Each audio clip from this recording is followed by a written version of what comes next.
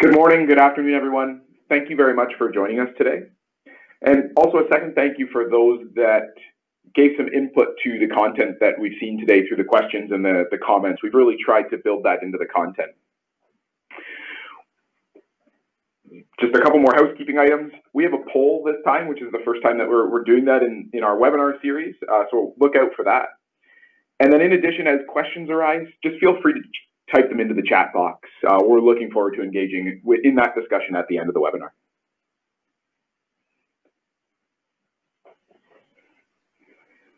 So let's get one thing out of the way right at the very beginning of today's session. No matter what I say today, where the discussion goes, how things appear, scaling is really hard. We all aspire to do it. We want to make next year better than this one. It's something that's really been bred into us. Uh, but just because we want to doesn't mean we can, because it's hard.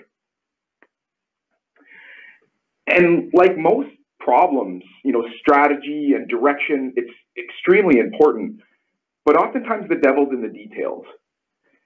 And that's why we chose the topic of this session today to focus on conveyance, and specifically conveyance in manufacturing.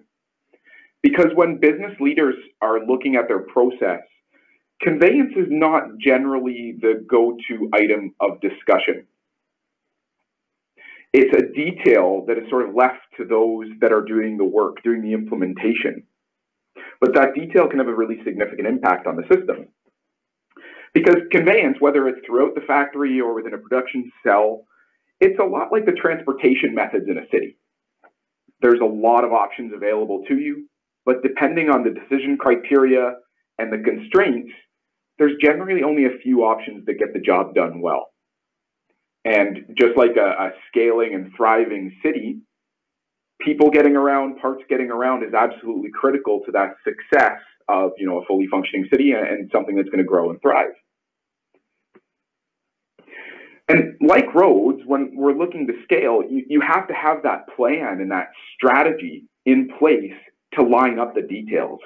We've got to line up our, our people, our process, our infrastructure, and when we do that successfully, that's when we achieve the growth that we're targeting.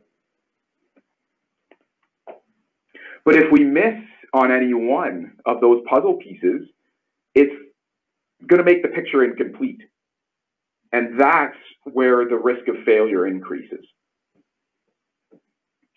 And what we'll talk about today is why that makes conveyance such an important piece of the manufacturing strategy. It touches everything Therefore, it naturally impacts all of the pieces, your, your people, your process, your infrastructure. Conveyance shouldn't really be looked at as a detail. It's a fundamental decision about how we implement our plans and how we accomplish our goals.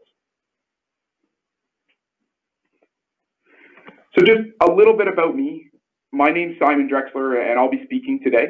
I lead the Linear Motion Technologies group within ATS and within our products group. I started my career at Toyota before I, I, moved to ATS, and I've held a variety of roles around the campus here in Cambridge, Ontario, Canada, as well as a few abroad. And then I, have also been fortunate to get involved in the startup community and the innovation culture that exists in, in Waterloo, Ontario. Uh, as part of that, on top of my, my LMT role, I sit on the board of advisors for Canadian manufacturers and exporters. And I've been fortunate to win a few awards and, and be featured in a couple of TV spots, mainly around driving innovation inside of industry. It's something that I'm really passionate about. The best part of my career is that no matter the role that I've had, I, have been really fortunate to, to meet with and travel to a number of customer facilities to really work directly with them to integrate technology and innovation to solve their business problem. And I'm looking forward to sharing some of that experience today as we talk about conveyance and scaling operations.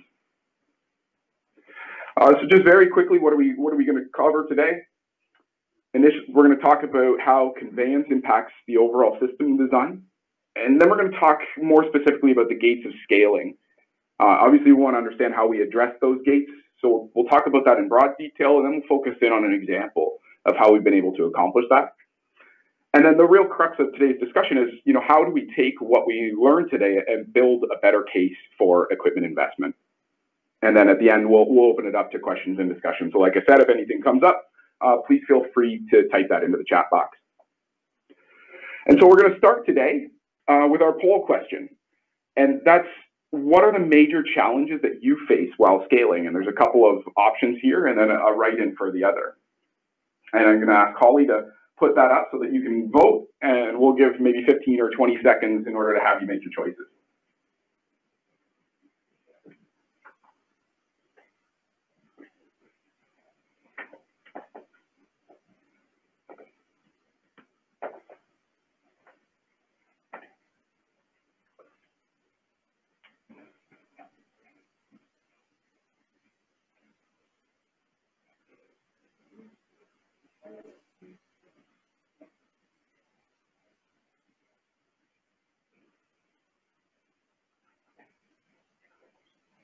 Yeah, we'll just give it a couple more seconds as the, the votes come in, and then we'll review the results of the poll later in the in the discussion today.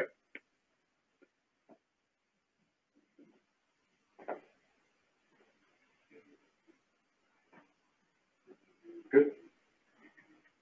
Thank you to everybody who voted. Uh, we'll Holly close the poll, and we'll carry on. Uh, so just to get us all on the same page, when we talk about conveyance, for the purposes of the discussion today, we really mean the movement of products from one location to another. And if we look at you know where my background is, where SuperTrak background, ATS's background, it's really inside of manufacturing assembly processes that the, the target of the discussion will be today. And so conveyance is it's one of many dominoes. When we look at designing a system of any kind, there are a number of different factors that go into it, and that, that's clear right from the beginning. System design is complicated. And oftentimes in that complication, we really look at the destinations of where our products are moving and where the things stop and what the different processes are. And that's why conveyance is often one of the later dominoes that comes into that complicated system design. But what we'll see today, and what I hope to illustrate for you, is that conveyance should probably be one of the first dominoes that we look at in our system design because it has a dramatic impact on a lot of the decisions that we make that impact our ability to scale both the operations and the business. And we'll walk through just a really high level example of a manufacturing system. Uh, so this is something that ATS designed to build for a customer. And we put together two concepts, uh, both equally valid, both have different trade-offs. On the left, you have a system that utilizes a dial table and a traditional conveyance system. And on the right, you have linear motion technologies with traditional conveyance. And without getting into any of the details whatsoever, what we'll see is that the system design will have a significant impact on the people, the process, and the infrastructure that works with these systems. So we don't need to know anything about what the system actually does to illustrate that point. And so if we start by looking at the people, you know, if you contrast the system on the left with the, the system on the right, we've selected different technologies and, you know, a foundation that is very different between the two approaches. And so that's going to impact the skill set and the training of the operators that work on that piece of machinery. So we'll have to show them either how to work with a servo dial table, all the ins and outs of traditional conveyance, or on the right with linear motion technology and um, traditional conveyance as well. And then it also has an impact on the maintenance that will happen on these cells, which is something that um, doesn't always get considered right up front in the system design. But because we've chosen different technologies, they're going to have different spare parts needs, they're going to have different maintenance schedules, and a different skill set inside the maintenance technicians as well. So then if we move to process, the conveyance platform, it's going to impact the components that are in the system and that drives the difference in the process as well. How quickly we can produce components and at what quality level is significantly impacted by the technology that's included in the system design. Just something as simple as how fast you can move parts is going to change what technologies are available for the application.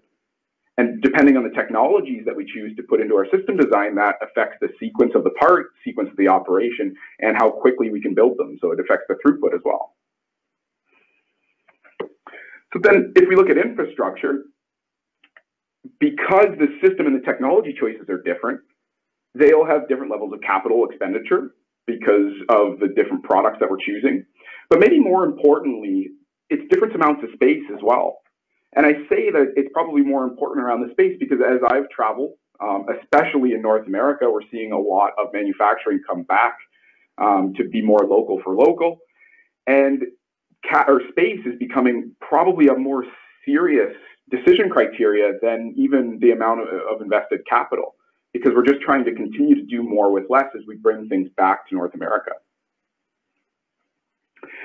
But just with a, a very simple high level example, you can see that our choice in conveyance, you know, dial versus conveyor versus linear motion technology can have, have a significant impact on our people, our process, and our infrastructure. And those are the pieces that enable our strategy and inherently are responsible for our success and growth.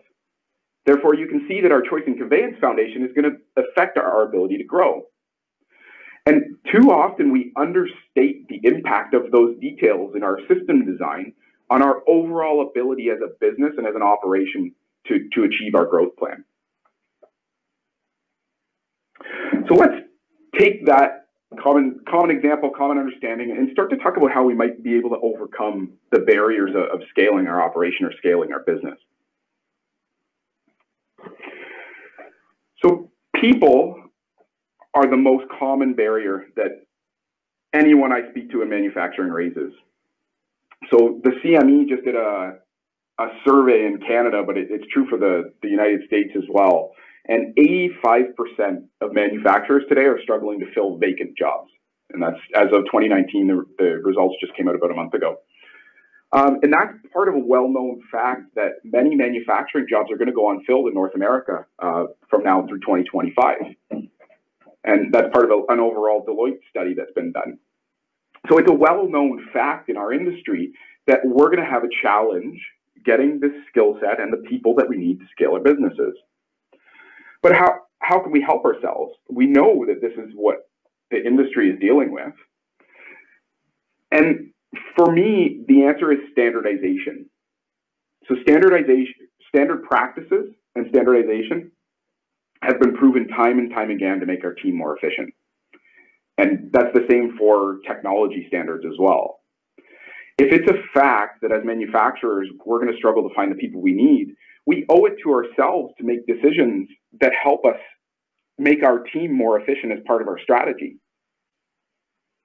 And something that's come up a lot in my discussion with partners is that they have multiple facilities where standards would help them make their team more mobile.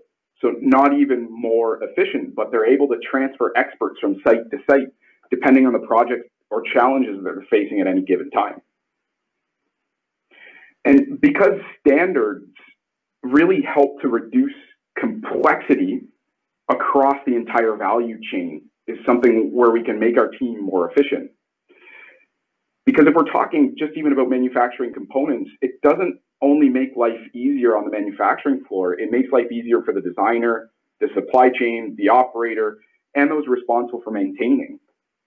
Standardization comes with trade-offs, but the benefits of making our team more efficient in any of the, the processes that I've seen, they, they vastly outweigh any of the negatives when you look at the overall goal of scaling the operation.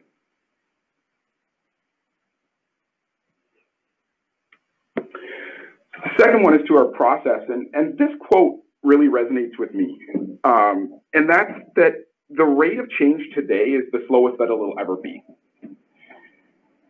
And that's impactful to me because things are changing really fast as it is today. And you hear a lot about technology and innovation and how it's driving so much change in industry that's you know so much faster than it was 10 or 20 years ago.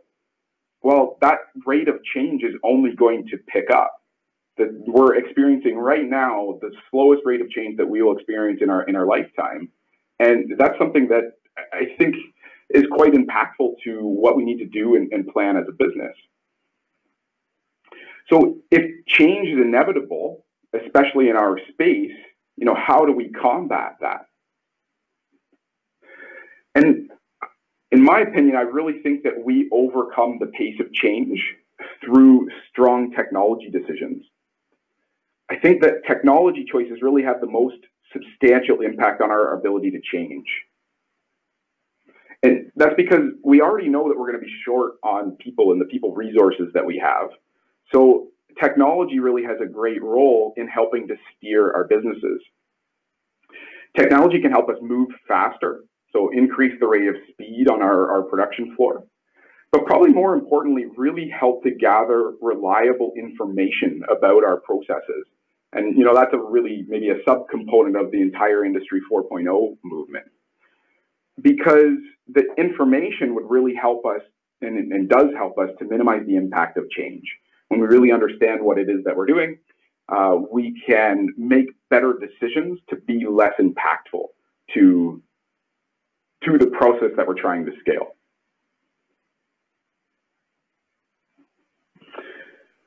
And then finally, if we look at, at capital and infrastructure, the market conditions that we're currently in right now, um, you know, you, you, read a lot about investors and investing in stock markets, but it, it's really no different for, for capital expenditure. You know, we're dealing with a lot of business risk and a lot of uncertainty right now. You know, investors, they, this is a quote from uh, Clyde Rousseau. So investors face a seemingly endless list of global risks. You know, we have escalating trade wars around the globe, high levels of debt across government, corporate, and household, and a lot of political uncertainty. And that creates a market condition, which is, leads to what you see on the screen, where the International Monetary Fund has just lowered the expected global growth in 2019 to 3%, which is the lowest rate since the financial crisis. And you know that the extension of that is, being blamed for the reduction in investment in machinery and equipment. So again, if it's a fact, if it's a known fact that there's less capital available today than there was, you know, a year ago or two years ago, how do we overcome that?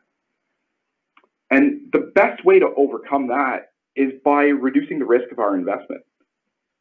And to make a growth strategy for our operations and equipment more attractive, we can show that we've taken these risks into account into the plan that we create.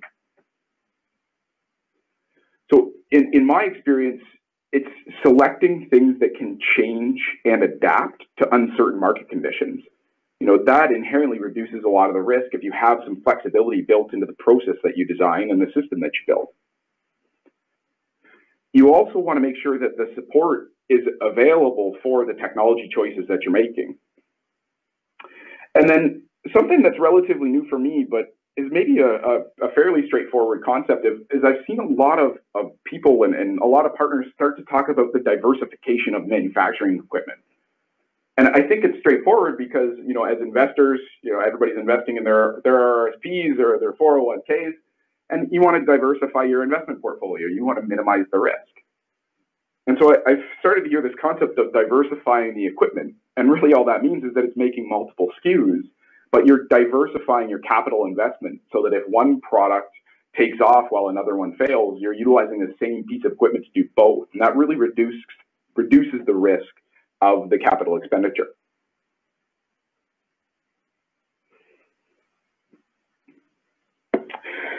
So to summarize, when we're looking at our puzzle pieces and trying to put together people, process, and infrastructure to support our growth goals, what we're really looking at doing is we want to deploy standards that enable strong choices in technology that reduce the perceived risk in capital expenditure. And you know that sounds so easy, right? um, but let's look at an example where where we've actually been able to achieve that uh, within ATS and, and within the SuperTrak team. And so this is probably one of my favorite examples of how conveyance can have a substantial impact on system design. So if you take the system on the left, it is fully functioning system. Customer is very happy with it, you know, very stable, met all of the, the design criteria and the production requirements. But the challenge that this customer had is exactly the one that we're talking about today. They had to buy four more of the system on the left in order to meet their market demand. So when they launched a product, they were highly successful, and now they had to build a whole bunch more equipment. It's a great problem to have, but that doesn't mean that it's not still a problem. And the problem they had was that the building that they built this product in didn't have the space for four more of the original system. They didn't just have the physical space. So they came to us, they came to ATS, and they said, guys, you know, what, what can you do to make these systems a little bit smaller?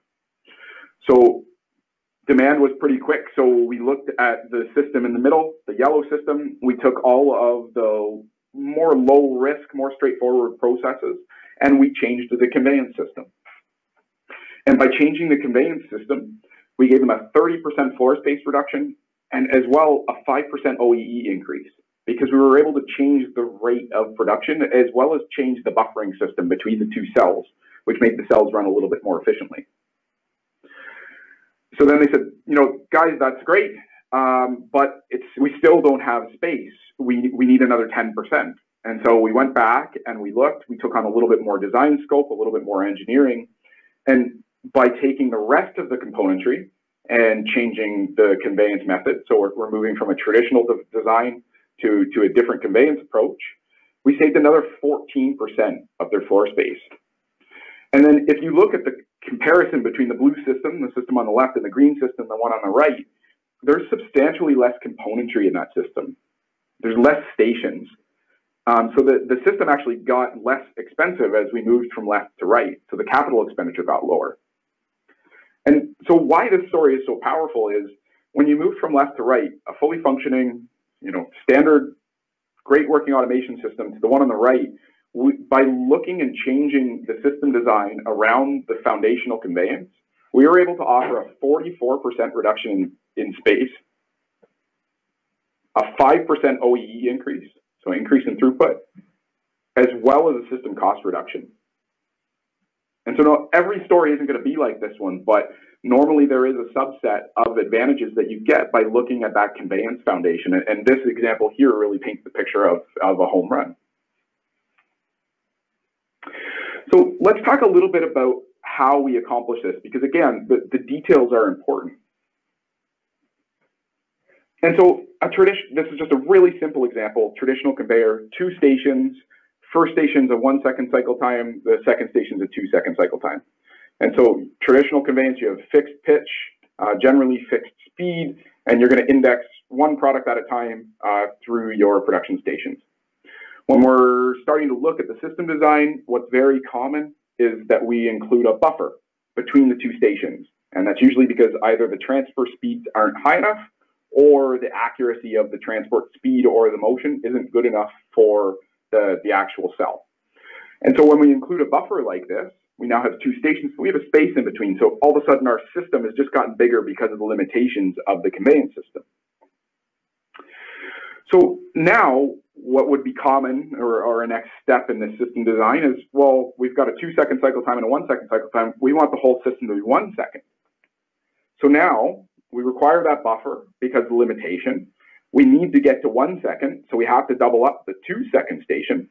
But what we also have to do is double up both the buffer and the one second station so that we can accommodate the fixed index of a traditional conveyance method. And so now our system, which really only had two stations to begin with, we wanted add a third so we could hit our, our one second cycle time. It now really has, it's taking up space of about six, six indexes. So if you look at how we accomplished that 44% square footage reduction, this is how we did it. So smart conveyance allows individual control of the shuttles themselves. So you no longer have to design around the limitations of the conveyance system every station can have its own cycle time. And that allows us to only do the thing that we really needed to do for the system itself. So our goal was to achieve the one second cycle time. And all we had to do was double up station two. We didn't have to double up station one because we could send two shuttles through the one second station, through station one, in the same time that we sent two through the second station, station two. So a second reason that we're able to accomplish that 44% square footage reduction is there's a significant reduction in part location and, and, tooling at the station when you move away from traditional conveyance. So, you know, very traditional approach here, shuttle moves in, uh, we actuate a pin, we lock the system into place, and then we perform our operation. Very, very traditional approach. But if you can utilize a conveyance system that's faster and more precise, you no longer need that locking pin. And, you know, when we talk about one specific station, it's a relatively trivial example. But when you're looking at a production cell that might have 10, 20, 30, 50 stations, if you can start eliminating your corner crowding tooling, your your locating pins, and any of the features that you require for, for locking something into a precise location inside of your process, you eliminate a lot of space and you eliminate a lot of cost.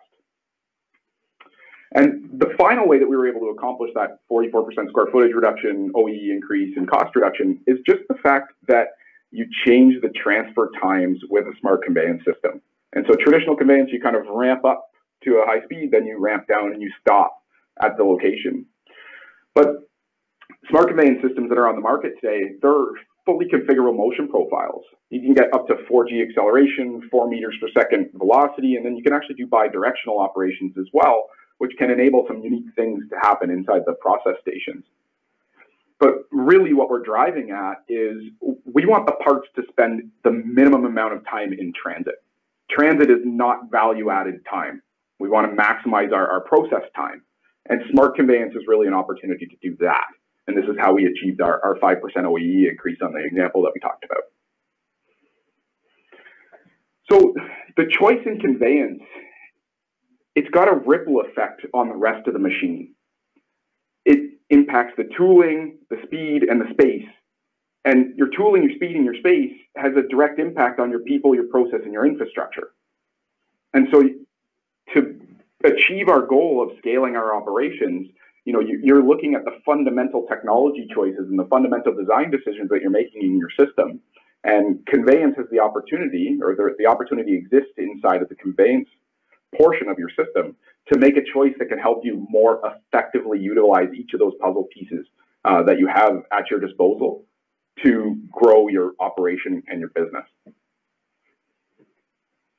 So let's look at the results of the survey before we move into the next uh, portion of today. And so um, really came back, so about half of us are restricted by capital constraints. So because that's about half of us, we'll try to spend a, little bit more time talking about that. 43% uh, of those on the call today said floor space uh, was their main issue. 30% said resource availability. Um, you know, if, if, I was if I was guessing, I would have thought that would have been higher. Uh, 30% resource availability. 22% is management approvals. Uh, so hopefully the next section of the discussion will help with that. And then 13% was regulatory uh, challenges. So again, that was 52% capital constraints, 43% floor space, 30% resource availability, 22% management approvals, and 13% was regulatory. So let's walk through each of those as we build up our business case for investing in new equipment and investing in, in a growth initiative. So the first one, it's resource availability. So about a third of us on the call today are, are impacted by that. And for the, the growth initiatives that I've seen and proposed, I think the target is really that our investment is going to drive efficiency with standardization. I think that's the most compelling case that we can make around resource availability.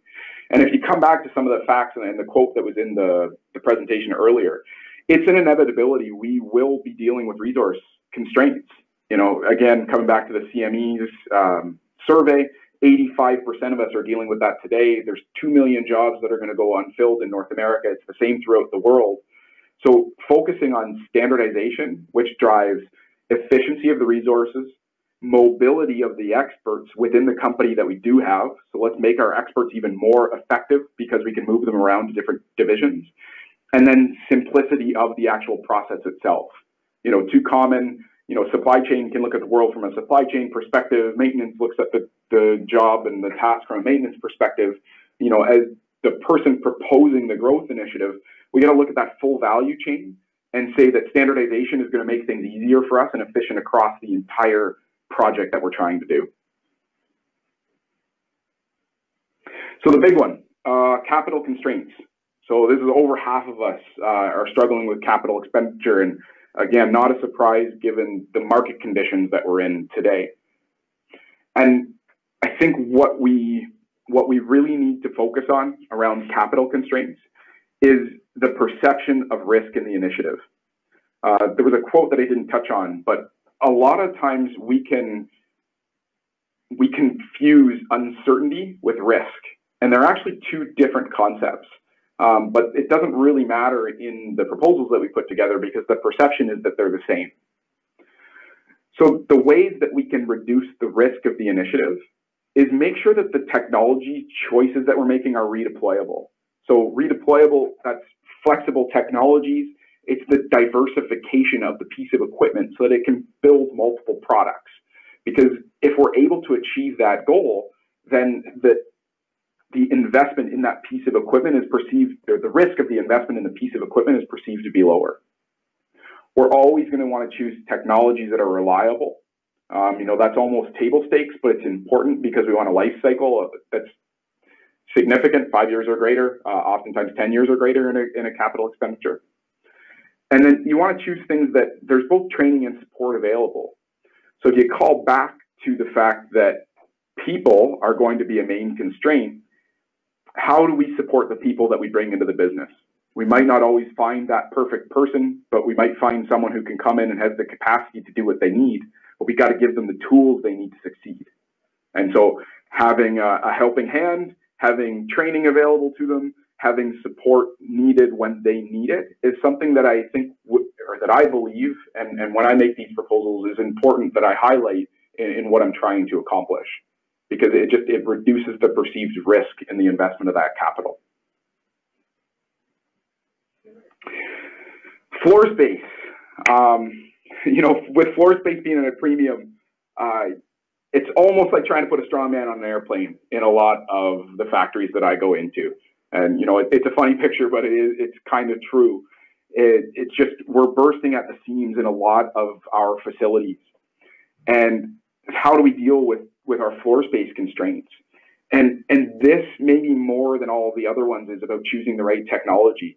You can make technology choices that make the cells more efficient. And you know, I walked through one example of that 44% square footage reduction, uh, but there are many others out there that if we if we take the time and we choose the right foundational technology, that first domino in our system design that has that sort of ripple effect on all the other things that we choose, that's where we can really be more efficient and more effective with the floor space that we do have.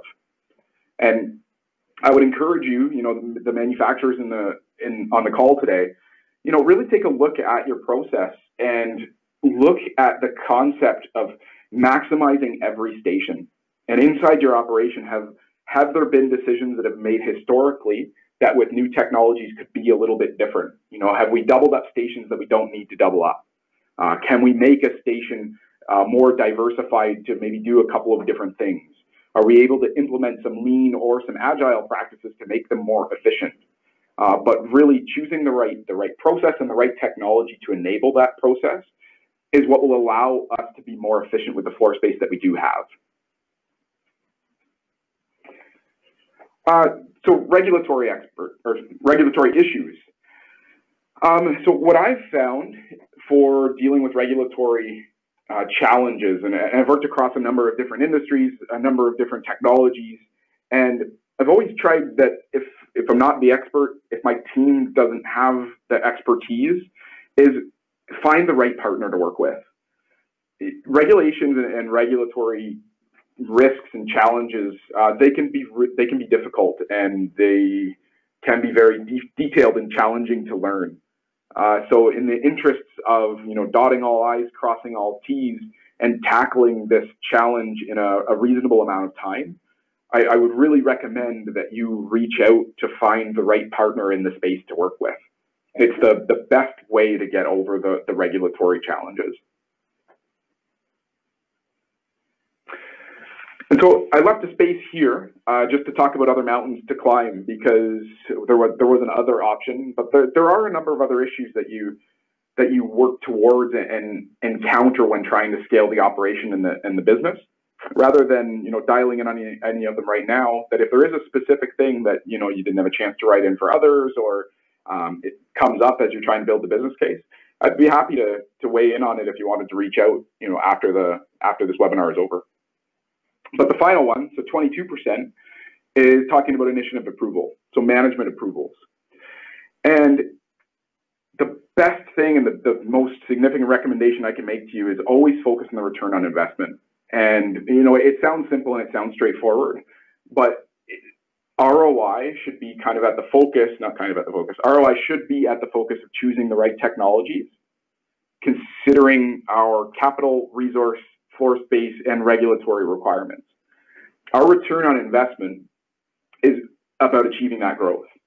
And that, that's what we really wanted to talk about today. So when we go in to do our proposal and our, our pitch for whatever growth initiative that we're trying to do, make sure that we touch on each one of the challenges that we've seen, you know, the, the capital constraints, the floor space, the resources, the regulatory. Talk about how that impacts your people, your process, and your infrastructure, and why the decision that we're making to take on this growth initiative helps each one of those buckets. Because if it helps each one of those buckets, our probability of achieving our growth target is significantly higher.